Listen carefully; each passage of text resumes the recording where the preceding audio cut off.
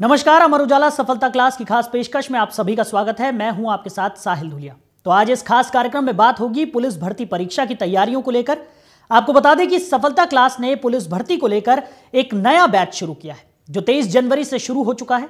सफलता क्लास का यह ऑफ़र 31 जनवरी तक है और आपको गणतंत्र दिवस पर एक खास छूट भी दी जा रही है, जिसका आप फ़ायदा उठा सकते हैं। कोर्स की अवधि चार महीने की है। इस कोर्स की थीम है पुलिस की नौकरी का इरादा। पक्की तैयारी का है हमारा वादा। तो अभी जुड़े सफलता क्लास के पुलिस बैच से और एडमिशन के लिए कॉल करें शून्य एक एक, चार शून्य एक चार छः शून्य आठ चार पर। एक बार पुनः नंबर आपको बता देते हैं, शून्य एक एक, चार शून्य एक चार छः शून्य आठ चार। तो आज हम इस खास पेशकश में हमारे खास मेहमान से जानेंगे कि कैसे पुलिस भर्ती परीक्षा की तैयारी की जा सकती है। तो आपको बता दें कि आज हमारे साथ एक खास मेहमान इस वक्त स्टूडियो में मौजूद हैं। सुनील बूरा जी जो कि हरियाणा पुलिस में सब इंस्पेक्टर हैं वो इस वक्त हमारे साथ मौजूद है। सर आपका बहुत बहुत स्वागत है। धन्यवाद सर। सभी को नमस्ते। जय हिंद। तो चलिए शुरुआत करते हैं। और सबसे पहला सवाल मेरा सर आपसे रहेगा कि पुलिस भर्ती की जब हम तैयारी की बात करते हैं तो बच्चों के मन में काफ़ी डर रहता है। Yes sir. और कई सारे प्रोसीजर्स होते हैं तो पुलिस भर्ती की तैयारी आखिर कैसे की जानी चाहिए? सर, सबसे पहले इसके लिए एक मतलब फिटनेस होती है कि बंदे की हाइट हो, जैसे पाँच फुट सात इंच तो मतलब नॉर्मल होती है हाइट इसके लिए। और इसके लिए एक बाद में एग्ज़ाम भी होता है पहले क्या होता था, पुलिस में सिर्फ़ फ़िज़िकल होती थी, फ़िज़िकल स्टैंडर्ड मेंटेन होता था। हाइट देखते थे पाँच सात और चेस्ट होती थी, लॉन्ग जंप होता था, इस तरीके से होता था। लेकिन आज हर स्टेट ने एक वो कर दिया, ओरिएंटेड कर दिया कि एक एंट्रेंस एग्ज़ाम भी होगा। और इसके लिए सबसे पहले हम जैसे हम फ़िज़िकल की तैयारी करते हैं तो फ़िज़िकल में मेन होता है, जैसे हरियाणा में पाँच किलो किलोमीटर की रेस होती है यूपी में अलग होती है, राजस्थान में अलग होती है तो हर स्टेट के एक अलग क्राइटेरिया बनाया उन्होंने रेस का।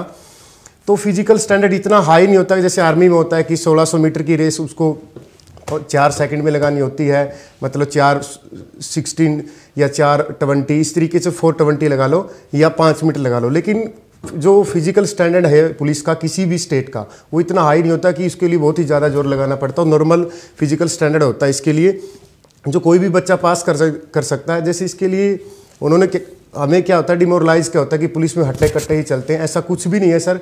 पुलिस में नॉर्मल बंदा जो लगभग एक मंथ की तैयारी में फ़िज़िकल की स्टैंडर्ड की तैयारी कर सकता है। जी।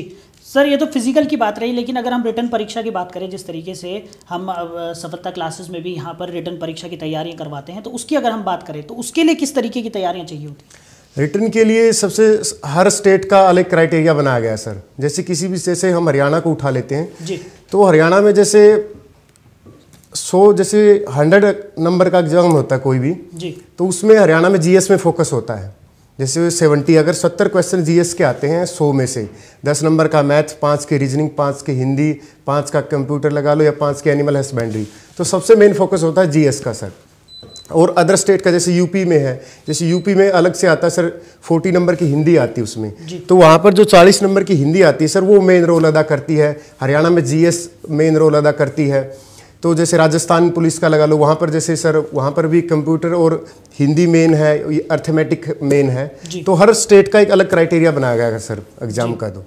वहीं अगर जिस तरीके से सुनील जी आपने भी ये एग्ज़ाम दिया है और आपको भी पता होगा कि किस तरीके का प्रेशर होता है जो जो भी परीक्षा देने के लिए जाते हैं उनके ऊपर एक प्रेशर बिल्डअप हो जाता है और उसके बाद जिस तरीके से परफॉर्म करना चाहिए वो कई बार नहीं कर पाते उस प्रेशर के चलते। तो उस प्रेशर को रिलीज़ करने के लिए या फिर किस तरीके की तैयारियाँ करनी चाहिए ताकि वो प्रेशर बिल्डअप ना हो?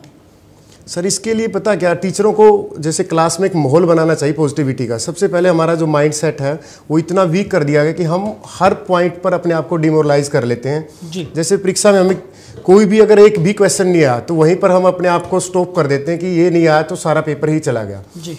जैसे हंड्रेड क्वेश्चन होते हैं अगर हमें कोई क्वेश्चन नहीं आता तो सबसे पहले हमारे दिमाग में एक ही आना चाहिए। अगर मुझे ये क्वेश्चन नहीं आता तो किसी को भी नहीं आता। क्योंकि उसके बाद 99 क्वेश्चन भी बचते हैं। तो हम एक क्वेश्चन की वजह से अपने वो बा, जो बाकी के क्वेश्चन हैं क्योंकि हम डिमोरलाइज होने के बाद कई क्वेश्चन अपने आप गलती कर जाते हैं जो हमें खुद आते भी होते हैं और हम गलती भी कर बैठते हैं।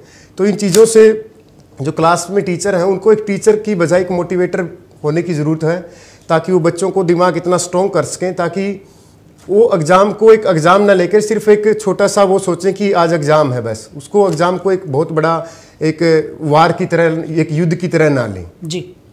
वहीं सुनील जी अगर बात की जाए जिस तरीके से एग्ज़ाम्स की हम बात कर रहे हैं Yes, तो शुरुआत से शुरू करते हैं कि शुरुआती टिप्स आप किस तरीके की देना चाहेंगे किस तरीके से शुरुआत की जाए प्रिपरेशन की?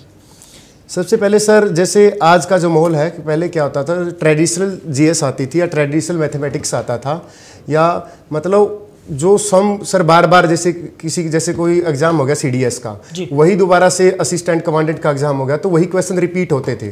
जैसे S C H S L का एग्ज़ाम हो गया तो दोबारा से सी जी एल में वो क्वेश्चन आ गए। जैसे हरियाणा पुलिस का एग्ज़ाम हो गया तो वही हरियाणा कलरक में आ गए।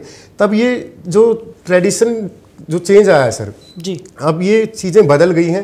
क्वेश्चन पूरा डेप्थ में जाता है। एनसीईआरटी बुक आजकल फॉलो करने की ज़रूरत है। पहले क्या आता था एक एक जीएस की नॉर्मल सी बुक आती सर लुसेंट की। उससे क्वेश्चन उठा लेते थे। लेकिन आजकल क्या है कि वो ट्रेडिशनल चीज़ें छोड़कर एक अच्छे पैटर्न के क्वेश्चन आने लग गए हैं सर तो ज़रूरत है जो टीचर पढ़ा रहे हैं उनको भी ज़रूरत है कि अपने मोड को बदलें। बार बार वही चीज़ें ना पढ़ाएँ जो कई सालों से पढ़ाते आ रहे हैं।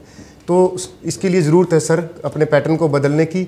और मैं, अगर लाइव में अगर कोई टीचर देख भी रहा है तो मैं सजेस्ट करूँगा कि अपने मोड को बदलें और एक अच्छे लेवल की तैयारी बच्चों को कराएँ। तो कई सारे दर्शक भी हमारे साथ जुड़े हुए हैं, उन्हें हम बताना चाहेंगे कि अभी इस वक्त सफलता क्लासेस का स्पेशल गणतंत्र दिवस ऑफ़र चल रहा है, जिसका फ़ायदा आप उठा सकते हैं। तो जल्द से जल्द आप एडमिशन लीजिए और इस ऑफ़र का फ़ायदा उठाइए। तो 31 जनवरी तक ये ऑफ़र वैलिड रहेगा।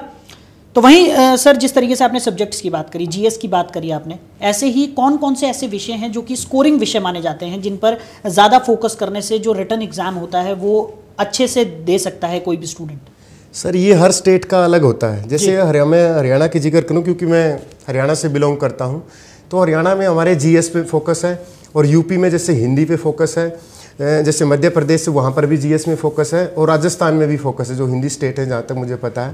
तो हर स्टेट का एक अलग क्राइटेरिया है। लेकिन आजकल हर एग्ज़ाम में जीएस मेन है सर क्योंकि मैथमेटिक्स का क्या होता है कि ट्रेडिशनल मैथमेटिक्स के क्वेश्चन पूछे जाते हैं। और रीजनिंग को रीजनिंग भी सिंपल आती सर।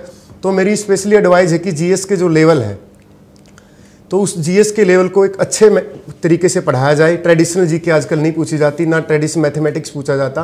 तो सर इसके लिए मतलब एक अच्छे तरीके से मतलब अच्छे हाई क्वालिटी टीचर से पढ़ने की ज़रूरत है। और खुद सेल्फ स्टडी भी सर इसके लिए बेनिफिशियल होती है क्योंकि सेल्फ स्टडी से क्या होता है कि हम उन चीज़ों को डेप्थ में पहुँच पाते हैं क्योंकि हम टीचर पे विश्वास कर लेते हैं कि ये पढ़ा रहा है तो बेस्ट ही दे रहा है। लेकिन ये चीज़ें ज़रूरी नहीं कि जो क्लास में वो पढ़ा रहा है वो बेस्ट ही होगा। तो सब्जेक्ट की हम यहाँ पर बात कर रहे हैं तो जैसे जीएस की आपने बात करी क्या जीएस की तैयारी के लिए कुछ स्पेशल टिप्स आप देना चाहेंगे किस तरीके से जीएस की तैयारी की जाए? सर मैं खुद का अगर आप कहो तो मैं खुद का एक्सपीरियंस शेयर कर सकता हूँ बिल्कुल सर बिल्कुल। तो जीएस के लिए सर क्या है कि आप सबसे पहले एनसीईआरटी की बुक उठाओ सिक्स से टेंथ स्टैंडर्ड की पुलिस के लिए। जी। और जो टीचर एनसीईआरटी बेस अपने आप को बोल रहा है कि जैसे एनसीईआरटी की बुक सर मैं प्रेफर करूँगा बच्चों के लिए कि एनसीईआरटी की बुक को फॉलो करें। और जो टीचर एनसीईआरटी बेस पढ़ा रहे हैं क्योंकि सर जो पिछले मतलब मैं मार्केट्स में खूब सारे टीचरों को जानता हूँ क्योंकि मैं खुद टीचर भी रहा हूँ जीएस का। तो यहाँ पर क्या है कि सर जो जीएस है जो टीचर एनसीईआरटी बेस्ड पढ़ा रहा है उस टीचर को फॉलो करें या क्योंकि आजकल क्या कि यूट्यूब है सर आजकल सबसे पत, आपको भी पता है कि यूट्यूब सबसे बड़ा आजकल वो है लेकिन सबसे ज़्यादा जो कबाड़ है मार्केट में वो सबसे ज़्यादा यूट्यूब पर मिलता है। तो इन चीज़ों से बचना चाहिए क्योंकि कई बार क्या होता है बच्चा विश्वास कर लेता है और हज़ारों वीडियो देखता है और वो सेल्फ स्टडी भी नहीं कर पाता और उसका टाइम चला जाता है एग्ज़ाम में और एग्ज़ाम में वो कुछ भी नहीं मिलता जो उसने ढेर सारा पढ़ा है क्योंकि उसमें उसकी कोई कमी नहीं उसकी मेहनत में कोई कमी नहीं है सर बस उसको गाइडनेस की कमी होती है बस। वहीं सुनील जी हम बात कर रहे हैं लगातार तैयारियों की और कई बार हमने देखा है कि बच्चों की जो तैयारियों का पैटर्न होता है वो ठीक नहीं होता जिसकी वजह से उन्हें काफ़ी नुकसान आगे परीक्षाओं में झेलना पड़ता है। कई बार ऐसा होता है कि जो वो पैटर्न का फॉलो कर रहे होते हैं जिस पैटर्न को वो फॉलो कर रहे होते हैं वो गलत होता है। और उसकी वजह से क्या होता है कि एग्ज़ाम में जब वो एग्ज़ाम लिखने जाते हैं तो उसका जो खामियाजा है Yes, वो उन्हें वहाँ भुगतना पड़ता है। तो उससे बचने के लिए कोई टिप सर ये मैंने खुद मतलब फेस की हैं चीज़ें जैसे पुलिस का लगा लो कोई भी एग्ज़ाम या कोई भी जैसे टैक्सेशन इंस्पेक्टर का लगा लो स्टेट में कोई भी एक्साइज का लगा लो वो होता है क्या कि उन्होंने मेंशन किया हो कि दस टेंथ स्टैंडर्ड की ही बुक में से आपको क्वेश्चन पूछे जाएँगे मैथ का। और टेंथ स्टैंडर्ड का ही साइंस पूछी जाएगी। हालाँकि यूपीएससी तक भी टेंथ स्टैंडर्ड से बाहर मैथ वो जो सी सेट होता है उसमें कोई भी मैथ का क्वेश्चन डालते हैं तो वो वहाँ भी इलेवेंथ और ट्वेल्थ स्टैंडर्ड का क्वेश्चन ही डाला जाता। और ना ही साइंस के क्वेश्चन डाले जाते। बस वो जो साइंस की टेक्नोलॉजी है करंट की वहाँ से कोई क्वेश्चन डाल देगा वरना जो ट्रेडिशनल साइंस है जो हमारी साइंस है वहाँ से क्वेश्चन उठाएगा तो ओनली टेंथ स्टैंडर्ड का उठाएगा। लेकिन कई बार क्या होता है कि जैसे हमारे हाल ही में हरियाणा में एक एग्ज़ाम हुआ था अभी कलरक का। उन्होंने क्या किया कि इलेवेंथ और ट्वेल्थ की केमिस्ट्री की रिएक्शन उठा ली कैनरोजी रिएक्शन कोब रिएक्शन जो बच्चा कभी, जैसे आर्ट का बच्चा, ग्यारहवीं, बारहवीं का कॉमर्स का बच्चा है तो उन चीज़ों को वो कभी पढ़ ही नहीं पाएगा तो ये चीज़ें गलत हैं, सर। तो पैटर्न एक पूरा होना चाहिए कि ये पैटर्न है, क्योंकि यूपीएससी जो सबसे बड़ा एग्ज़ाम है, उसका भी एक पैटर्न है कि यहाँ से क्वेश्चन पुट ऑफ़ करेगा। तो स्टेट का कोई भी एग्ज़ाम हो तो एक पैटर्न होना चाहिए कि इसमें से ही क्वेश्चन पूछे जाएँगे। जी तो ये तो आपने पैटर्न की बात की। साथ ही साथ कई बार ऐसा होता है कि हम जब तैयारियाँ कर रहे होते हैं या कोई भी जो इस तरीके के जो कॉम्पिटेटिव एग्ज़ाम्स होते हैं या पुलिस की भर्ती की हम जिस तरीके से बात कर रहे हैं कि पुलिस भर्ती की जो परीक्षाएँ बच्चे दे रहे होते हैं उसमें क्या होता है कि कई बार रिटर्न की तरफ़ ज़्यादा फोकस नहीं रहता। और ज़्यादा फोकस बच्चा फ़िज़िकल की तरफ़ करने लगता है। यस सर तो इससे कितना नुकसान हो सकता है? सर मैं शुरुआत में ही कहा था कि फ़िज़िकल पे इतने ज़ोर देने की ज़रूरत नहीं है पुलिस में क्योंकि जो आर्मी की फ़िज़िकल है वो बहुत ही डिफ़िकल्ट होती है। मैं मेरा खुद का एक्सपीरियंस शेयर करता हूँ सर मैंने सिर्फ़ पंद्रह दिन तैयारी की है कि जो हरियाणा पुलिस का सब इंस्पेक्टर का एग्ज़ाम है तो मैंने जो रेस की तैयारी की वो सिर्फ़ पंद्रह दिन की ही है। तो मैं जो उन बच्चों को एक मैसेज देना चाहता हूँ जो फिजिकली थोड़े से वीक हैं या मतलब उनको डिमोरलाइज करते हैं तो उनको बस एक एक मैसेज दूँगा कि पुलिस के लिए अपने आप को वीक मत समझ। अगर आपकी हाइट पाँच सात से ऊपर है या पाँच सात है नॉर्मल भी है तो थोड़े दिन तैयारी करो। और इसके लिए आप सिर्फ़ और सिर्फ़ रिटर्न पे ध्यान दो क्योंकि फ़िज़िकल जो स्टैंडर्ड है वो इतना हाई नहीं है। उसके बाद अगर आपको अच्छी बॉडी शोडी बनानी है तो अपने आप उसके बाद तैयारी करें। जी। तो सबसे मेन फोकस है रिटर्न एग्ज़ाम अगर आप पुलिस की तैयारी करें किसी भी स्टेट की वो यूपी हो हरियाणा हो राजस्थान हो मध्य प्रदेश हो किसी भी स्टेट की पुलिस की तैयारी कर रहे हो तो। जी। तो सुनील जी कई सारे दर्शक हमारे साथ जुड़े हुए हैं लगातार फेसबुक के माध्यम से और लगातार अपने जो सवाल हैं वो भी हम तक पहुँचा रहे हैं। तो हम कोशिश करते हैं कि उनके कुछ सवाल भी हम आपसे लें ताकि उनकी जो समस्याएँ हैं उनका समाधान हम उन तक पहुँचा हाँ, सकें। sir. तो जगमोहन सिंह एक हमारे दर्शक हैं वो हमारे साथ जुड़ गए हैं। उनका सवाल है कि सर जो रिटर्न एग्ज़ाम होता है उसे लिखते वक्त किन बातों का ध्यान रखना बेहद ज़रूरी है? सबसे पहले सर रिटर्न में क्या होता है कि जैसे जो हमारा स्ट्रॉन्ग सब्जेक्ट है जी। उस स्ट्रॉन्ग सब्जेक्ट को हमें चूज़ करना चाहिए क्योंकि जैसे हमारी अगर जीएस स्ट्रॉन्ग है जी। अगर जीएस के 40 क्वेश्चन हैं अगर हम 40 क्वेश्चन में से अगर 30 या 35 भी कर लेते हैं तो अपने अंदर एक कॉन्फिडेंस बिल्डअप हो जाता है और वो कॉन्फिडेंस हमें 100 तक लेके जाता है। वो बाद की बात है एग्ज़ाम से बाहर आने के बाद हम देखते हैं कि कितने गलत हुए सही। तो जो सबसे पहले जो स्ट्रोंग है अपना सब्जेक्ट उस स्ट्रोंग सब्जेक्ट पे हमें जाना है। जी। और अगर जैसे हम वीक पे आए, जैसे हमारा मैथमेटिक्स वीक है, अगर हमसे वहाँ पर कोई क्वेश्चन नहीं भी हो रहा तो ये सोचना कि ये हमें नहीं आ रहा। तो दिमाग में एक ही स्ट्रेटजी होनी चाहिए कि ये हमें नहीं आ रहा तो किसी को भी नहीं आ रहा। इससे क्या होगी? पॉजिटिविटी आएगी। क्योंकि एग्ज़ाम में सबसे बड़ा जो मेन फैक्टर है, वो सर पॉजिटिविटी है, और एक मोटिवेशन है अपने अंदर, और इससे ज़्यादा कुछ नहीं है।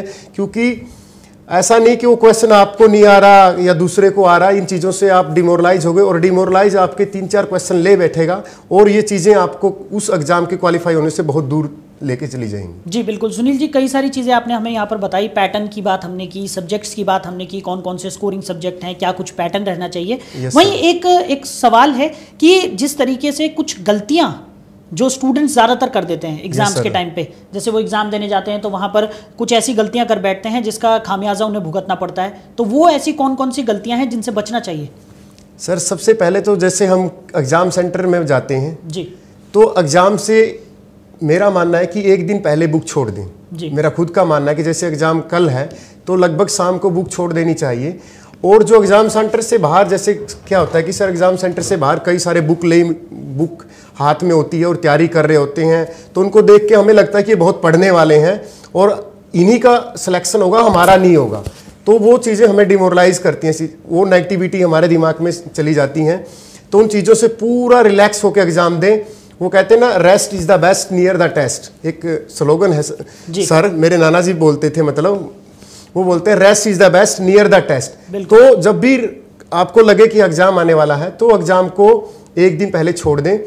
क्योंकि जो तैयारी है सर वो हो चुकी होती। है ये नहीं कि आपने आप जैसे सफ़र कर रहे हैं कि दस बजे टेस्ट और आठ बजे सफ़र कर रहे हैं तो उससे दिमाग में सर बहुत सारा न्यूरॉन सिस्टम होता है वो अपने डिस्टर्ब हो जाता है इन चीज़ों से। जी, जी, जी। तो हमें एग्ज़ाम से पहले अपने आप को पूरा मेंटली पूरा सेटिस्फैक्शन के साथ कि हमने जो पढ़ा है वो बेस्ट पढ़ा है और हमने जो तैयारी की है हमसे अच्छी तैयारी किसी ने नहीं की है और हमने जितना पढ़ा है उससे ज़्यादा किसी ने भी नहीं पढ़ा है।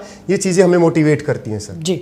तो इन गलतियों से हमें यहाँ पर बचना हाँ इन चीज़ों से हमें बचना चाहिए और नेगेटिव लोगों से बचना चाहिए क्योंकि सर जब हम तैयारी कर रहे होते हैं तो हज़ारों बच्चे तैयारी कर रहे होते हैं लाखों तैयारी कर रहे होते हैं बिल्कुल। रिश्तेदार भी तैयारी कर रहे होते हैं दोस्त भी तैयारी कर रहे होते हैं तो उन चीज़ों से हमें बचना चाहिए क्योंकि होते ना कि सर जो दर्शक होते हैं वही मतलब वो करते हैं हल्ला हुल्ला करते हैं खिलाड़ी कभी भी हवाबाजी नहीं करता वो अपने खेल पे ध्यान देता है। तो जो अच्छी तैयारी करने वाले बच्चे हैं वो कभी भी एक दूसरे के साथ डिमोरलाइज नहीं करते।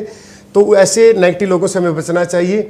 तो मेरी जो तैयारी कर रहे हैं उनसे सजेस्ट है कि पॉजिटिव होकर तैयारी करें। कोई भी एग्ज़ाम बड़ा नहीं है। और कांस्टेबल या एसआई या इंस्पेक्टर या आईपीएस कोई भी एग्ज़ाम बड़ा नहीं है सर कि हम जैसे हम पुलिस में लग के सोचें कि यार कांस्टेबल कोई छोटा एग्ज़ाम है।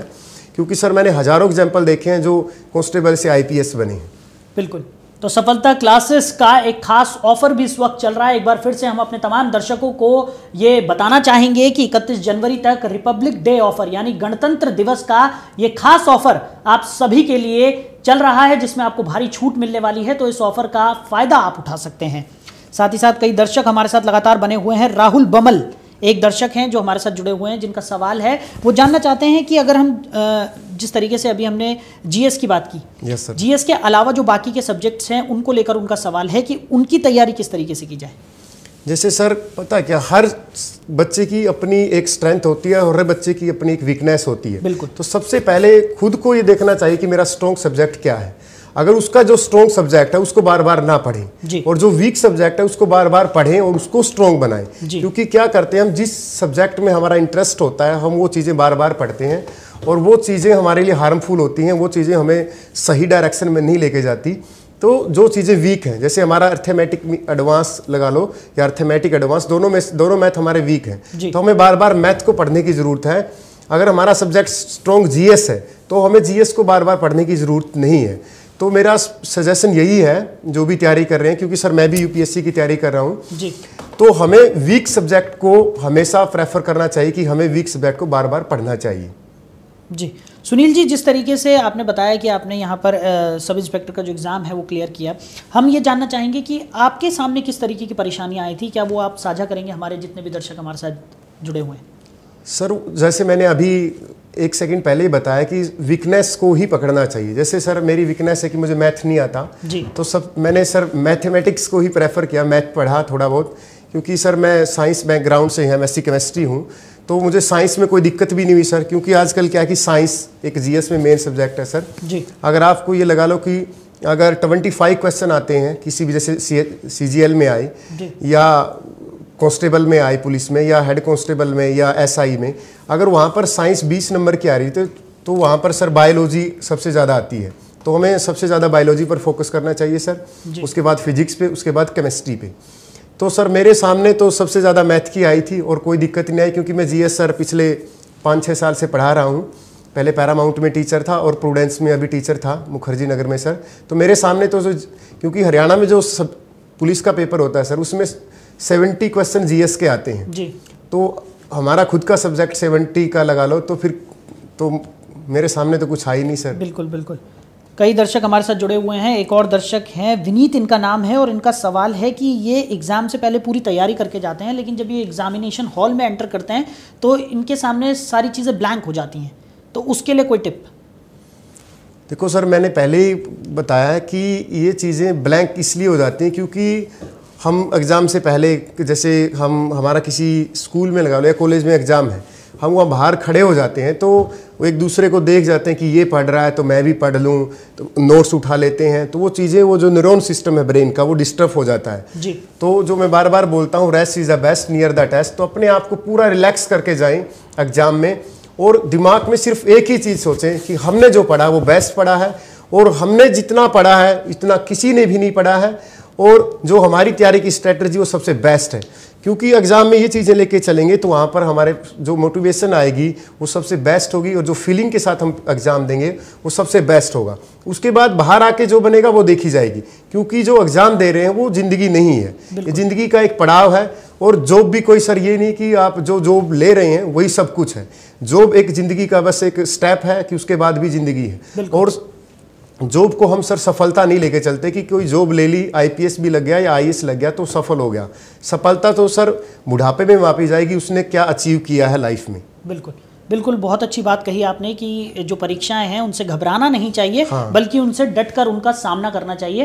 तो इन्हीं तमाम चीज़ों को ध्यान में रखते हुए अगर हम एग्ज़ाम देने जाते हैं तो हमारा जो प्रेशर है वो अपने आप ही रिलीज़ हो जाता है और कहीं ना कहीं हम अच्छा परफॉर्मेंस एग्जामिनेशन हॉल में दे सकते हैं। यस सर वहीं एक और एक और सवाल है मेरा सुनील जी आपसे जिस तरीके से टाइम मैनेजमेंट की बात अगर हम करें कई बार ऐसा होता है कि टाइम की कमी के चलते हमारे कई क्वेश्चंस एग्जामिनेशन हॉल में छूट जाते हैं या फिर जब हम प्रिपरेशन की बात अगर हम कर लें तो प्रिपेयर करते टाइम टाइम मैनेजमेंट कैसे सेट करना चाहिए किस तरीके से टाइम का यूटिलाइजेशन पूरी तरह से होना चाहिए?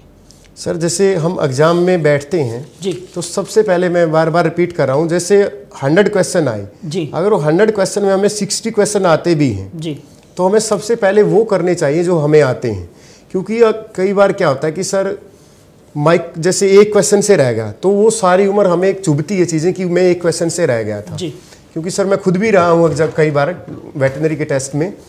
जब मैंने प्लस टू की थी तो वो बार बार चुभती लाइफ में कि यहाँ से एक नंबर रह गया था और वो एक नंबर सर वो था जो मुझे आता था। जी। तो सबसे पहले एग्ज़ाम में हमें वो चीज़ें करनी चाहिए जो सिर्फ़ हमारी दी बेस्ट हैं और जिन पे हमें हंड्रेड परसेंट श्योर है। उसके बाद सर फोर्टी परसेंट बचता है। फोर्टी परसेंट में सर हमें बार बार उनमें बार बार जाना चाहिए कि जिसके पास हम जैसे दो चार ऑप्शन आते हैं सर एग्ज़ाम में तो हमें ऐसा उन क्वेश्चन पे जाना चाहिए जहाँ पर हम दो ऑप्शन पे जा रहे हैं। तो उन पे सबसे पहले हमें उन पे खेलना चाहिए कि हम इनको टिक कर लें। अगर उसके बाद भी पंद्रह बीस क्वेश्चन बचते हैं जो हमें नहीं आते अगर नेगेटिव मार्किंग होती है तो ओबियसली बात वो छोड़ देने चाहिए। क्योंकि कई बार क्या होता है कि ज़ीरो पॉइंट फाइव से भी हम रह जाते हैं कि जहाँ पर नेगेटिव मार्किंग होती बिल्कुल, है। बिल्कुल। तो नेगेटिव मार्किंग से भी बचना चाहिए क्योंकि हम कई बार रिस्क लगा लेते हैं कि है जैसे बीस क्वेश्चन है कि ट्वेंटी क्वेश्चन है इनको देख लेते हैं कि पाँच छः तो ठीक होंगे ही। तो ये चीज़ें हमें नेगेटिविटी की तरफ़ लेके जाती हैं और वहाँ से हम पॉइंटों में सिलेक्शन रह जाता है और वो चीज़ें सर हमें सारी उम्र अपने आप को दोष देते हैं। बिल्कुल ये तो रही एग्जामिनेशन हॉल की बात। लेकिन अगर हम तैयारियों की बात करें जिस तरीके से मेरा सवाल था कि तैयारियों को लेकर हम टाइम मैनेजमेंट कैसे कर सकते हैं कि इस सब्जेक्ट को हमें इतना टाइम देना है इस सब्जेक्ट को हमें इतना टाइम देना है तो वो टाइम मैनेजमेंट की अगर हम बात करें तो उसे किस तरीके से करना चाहिए? ये सर सबसे पहले तो हमें पैटर्न का पता होना चाहिए कि इस एग्ज़ाम में सबसे ज़्यादा ये चीज़ें पूछी जा रही हैं। अगर किसी भी जैसे सी जी का एग्ज़ाम होता है सर वहाँ पर सबसे ज़्यादा मैथ और इंग्लिश आती है। तो बच्चा क्या करता है कि सबसे ज़्यादा मैथ और इंग्लिश को टाइम देता है क्योंकि 200 क्वेश्चन मेंस मैथ का 200 मेंस इंग्लिश का। तो वो पुलिस के एग्ज़ाम पे डिपेंड करता है कि वो सबसे ज़्यादा टाइम किसको दो। जैसे हम यूपी पुलिस की बात कर लेते हैं सर हम बार बार मतलब हर स्टेट को लेके चलेंगे। जैसे यूपी पुलिस में सबसे ज़्यादा हिंदी आती है फोर्टी क्वेश्चन की। तो हम जैसे हरियाणा वाले हैं वो हिंदी को थोड़ा सा इजिली लेके चलते हैं सॉफ्टली की पाँच सात क्वेश्चन आएँगे तो हम पाँच सात को आराम से कर लेंगे। लेकिन जो यूपी की जो हिंदी आती है चालीस नंबर की क्योंकि वो वास्ट होगी सर उसके मल्टीपल फोर मल्टीपल होगी। बिल्कुल। तो हम हिंदी की स्ट्रेटजी अलग से बनाएँगे अच्छी अच्छी बुक प्रेफर करेंगे। तो वो डिपेंड करता है कि उस पैटर्न में कि जो स्टेट का एग्ज़ाम पैटर्न है उसमें सबसे ज़्यादा पूछ क्या रहा है। जैसे अगर वो मैथ का पूछ रहा है अगर उसने बोल दिया कि भाई 40 नंबर का मैथ आएगा तो, तो हम स्ट्रेटजी बनाएँगे कि भाई मैथ को ज़्यादा पढ़ें और मैथ के लिए अच्छे अच्छे टीचरों को सिलेक्ट करें अच्छे अच्छे यूट्यूब चैनल पे जाएँ अच्छी अच्छी बुक लें। तो वो तो डिपेंड करता है कि सर उस पर कि एग्ज़ाम का पैटर्न क्या है और हमें उसी तरीके उसी अकॉर्डिंग हमें उसकी तैयारी करनी है। जी एक और दर्शक हमारे साथ जुड़े हुए हैं अमित इनका नाम है और इनका सवाल है कि जिस तरीके से पैटर्न की हमने बात की तो क्या पैटर्न में किसी तरह का बदलाव होता है हर बार एग्ज़ाम्स में? या एक सिमिलर पैटर्न है जिसके तहत एग्ज़ाम्स बनाए जाते हैं?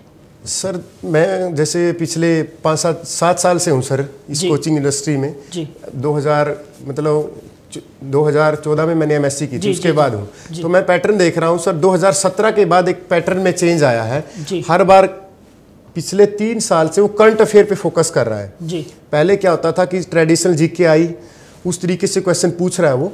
लेकिन अब क्या है कि करंट पे फोकस है करंट के मुद्दों से है या करंट की जो साइंस है जो साइंस टेक्नोलॉजी हमारी जैसे सैटेलाइट कौन सा लॉन्च हुआ या हाल ही में साइंस की कौन सी वो टेक्निक आई तो सबसे ज़्यादा आजकल सर करंट पे फोकस करने की ज़रूरत है क्योंकि अगर जीएस में पहले क्या होता है सर एक दो क्वेश्चन ही आते थे करंट के लेकिन आजकल करंट अफेयर के ज़्यादा क्वेश्चन आने लगे तो मेरा सजेशन है कि इन चीज़ों पर भी करंट अफेयर पर ध्यान देना चाहिए सर। तो ज़्यादा से ज़्यादा फोकस हमें उन्हीं चीज़ों पर रखना चाहिए जो पैटर्न के मुताबिक जो हाँ, लगातार पिछला पैटर्न चला हाँ, आ रहा है हाँ, उसके मुताबिक जो बना हुआ है एक सेटअप उसी हाँ, पर हमें ज़्यादा फोकस करना चाहिए आप ये कहना हाँ जो पिछला सेटअप है सर उस क्या होता है कि हर साल जो पैटर्न होता है वो बदलता रहता है मार्केट जी, जी. क्योंकि जो मार्केट में क्या होता है कि जैसे बुक है कोई वो पाँच दस साल से चली आ रही है हमने पढ़ ली।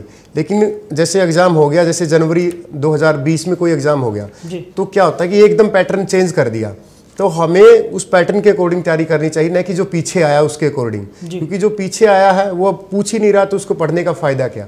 तो हमें हर एग्ज़ाम के तरीके से अपने आप को प्रिपेयर रखना है कि पूछ क्या रहा है? मार्केट में क्वेश्चन क्या? क्योंकि जो क्वेश्चन बैंक होता है सर वो भी एक मार्केट में प्रोडक्ट ही होता है कि आजकल ये चल रहे हैं। तो आजकल जो चल रहा है सर वो करंट के मुद्दे ज़्यादा पूछ रहा है जीएस में और मैथमेटिक्स में भी एडवांस लेवल का मैथ पूछ रहा है। तो हमें चीज़ों पर ध्यान अवेयर रहना चाहिए कि आजकल मार्केट में किस तरह के क्वेश्चन आ रहे हैं। एक और आ, हमारे साथ जो हमारे दर्शक हैं वो जुड़ गए हैं। इनका नाम है सुमित। और इनका सवाल है कि मैथ्स को लेकर ये काफ़ी घबराते हैं। जिस तरीके से आपने भी कहा कि मैथ्स से कईयों हाँ को डर रहता है। मैं खुद भी डरता था। बिल्कुल। तो मैथ्स के लिए ये जानना चाहते हैं कि उसकी तैयारी किस तरीके से करें देखो सर मैथ की अगर सबसे ज़्यादा अगर पूरा ही ज़्यादा वीक है तो सबसे पहले उन्हें बेसिक पढ़ना चाहिए एक अच्छे टीचर के पास। क्योंकि सर मैं तो किसी टीचर से कभी पढ़ा नहीं मैथमेटिक्स। तो उनको सबसे पहले देखना चाहिए कि मुझे किस टीचर का समझ में आ रहा है। कई बार क्या होता है कि कई बार क्या होता है कि बच्चा ब्रांड के पीछे भाग जाता है कि जैसे कोई बहुत बड़ा नामी ग्रामी टीचर हो तो उन चीज़ों से बचना चाहिए। हमें किस टीचर का समझ में आ रहा है? बस ये चीज़ें फॉलो करनी चाहिए हमें। और हमें ये होना चाहिए कि कोई अच्छा सा टीचर मिले उसको हम फॉलो करें और उसको बार बार उसी का रिवीजन करें। तो मैथमेटिक्स इतनी बड़ी भी नहीं है कि फोबिया बना दिए। मैथ खुद कहता है मैं आता तो हूँ। तो मैथ की जो फुल फॉर्म है वो खुद कहता है मैं आता तो हूँ। आप करते ही नहीं। यानी कि मैथ्स की प्रिपरेशन करना इतना भी मुश्किल नहीं है तो आ, आप अगर उसे पूरी बेसिक्स जो उसके हैं अगर हाँ वो क्लियर कर लिए जाएँ हाँ। तो ज़्यादा डिफ़िकल्ट नहीं रह जाती हाँ, डिफ़िकल्ट नहीं है मैथमेटिक्स की क्योंकि क्या है कि सर कोई चीज़ें क्या होता है कि जैसे एक बीमारी का हवा बना दिया जाता है और उसके मार्केट में इंजेक्शन दिए जाते हैं। और जिसने मार्केटिंग की होती है उसकी कि ये बीमारी आ गई तो वो इंजेक्शन भी वो खुद ही बेच रहे होते हैं। तो ये भी मैथमेटिक्स भी इसी तरीके से एक बीमारी है जो खुद मतलब जो बड़े बड़े टीचर हैं उसको मार्केट में उतार देने कि मैथ टफ है टफ है। ऐसा कुछ भी नहीं है सर मैथ सबसे ईजी सब्जेक्ट है क्योंकि सर मेरा खुद टेंथ मतलब बीएससी तक मैथ रहा है और साइट मुझे ध्यान तक ध्यान है टेंथ में सर मेरे 90 अबव हैं मैथ में।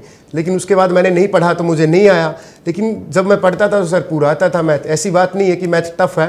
मैथ सबसे इजी सब्जेक्ट है क्योंकि इसमें सर आपको सिर्फ़ रूल फॉलो करने हैं। ये गेम की तरह है जैसे कबड्डी का होता है कुश्ती का होता है क्रिकेट का। तो इसमें आपको रूल फॉलो करने हैं उसके बाद कुछ नहीं मैथ। जी। तो सुनील जी समय की अभाव के चलते हमें ये जो हमारी खास पेशकश है यहीं पर विराम देना होगा। तो चलते चलते आपसे जानना चाहेंगे क्या कुछ आप कहना चाहेंगे? जो भी हमारे दर्शक हैं जो हमें इस वक्त देख रहे हैं फेसबुक के माध्यम से सफलता क्लासेस के माध्यम से हम लोगों को हम लोगों से जुड़े हुए हैं उनको क्या कुछ संदेश देना चाहेंगे आप? मैं सिर्फ़ यही मैसेज देना चाहूँगा सर कि मोटिवेशन होकर तैयारी करें।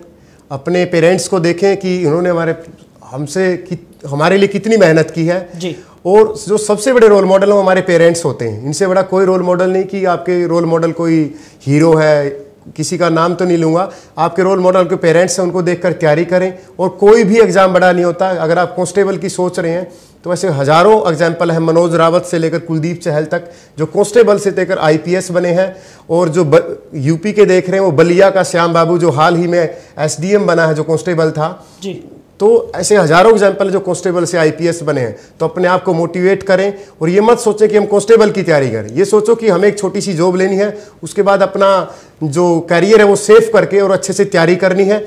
और कभी भी अगर आप यूट्यूब पर जितना भी कबाड़ा देखते उसकी बजाय मोटिवेशन वीडियो देखें और अपने आप को मोटिवेट रखें और तैयारी करें। बिल्कुल, और सफलता क्लासेस के साथ जुड़कर भी आप ज़्यादा से ज़्यादा अच्छी तैयारी यहाँ पर कर सकते हैं। रिपब्लिक डे का ऑफ़र भी इस वक्त चल रहा है। गणतंत्र दिवस पर खास ये ऑफ़र जितने भी स्टूडेंट्स हैं जो सफलता क्लासेस के साथ जुड़ना चाहते हैं, उनके लिए लाया गया है इकतीस जनवरी तक ये ऑफ़र वैलिड रहेगा। तो उम्मीद है पुलिस सर्विस में जाने की इच्छा रखने वाले कैंडिडेट सब इंस्पेक्टर सुनील बुरा जी की बताई बातों का परीक्षा के दौरान ध्यान रखेंगे। तो सर, आपका बहुत बहुत शुक्रिया हमारे साथ जुड़ने के लिए। और प्रोग्राम के आखिर में एक बार फिर आपको बता दें कि सफलता क्लास का पुलिस भर्ती को लेकर एक नया बैच 23 जनवरी से शुरू हो चुका है सफलता क्लास का। गणतंत्र दिवस पर यह खास ऑफ़र 31 जनवरी तक है और आपको ये खास छूट दी जा रही है। तो इस छूट का आप फ़ायदा उठा सकते हैं। कोर्स की अवधि चार महीने की है। इस कोर्स का थीम है पुलिस की नौकरी का है इरादा। पक्की तैयारी का है हमारा वादा। तो अभी जुड़े सफलता क्लास के पुलिस बैच से और एडमिशन के लिए कॉल करें शून्य एक एक चार शून्य एक चार छः शून्य आठ चार पर। तो इसी के साथ इस खास कार्यक्रम में मेरे साथ इतना ही। आप बने रहिए। नमस्कार।